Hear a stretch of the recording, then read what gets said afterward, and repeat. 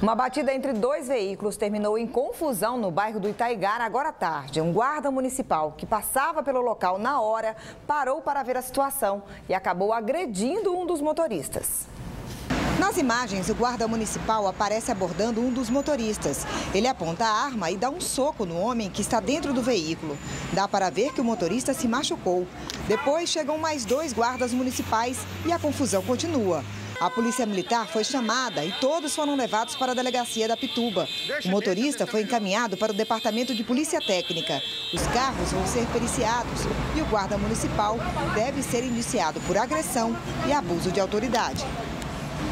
A assessoria da Guarda Municipal disse que o caso vai ser investigado pela Corregedoria e o acusado pode ser punido.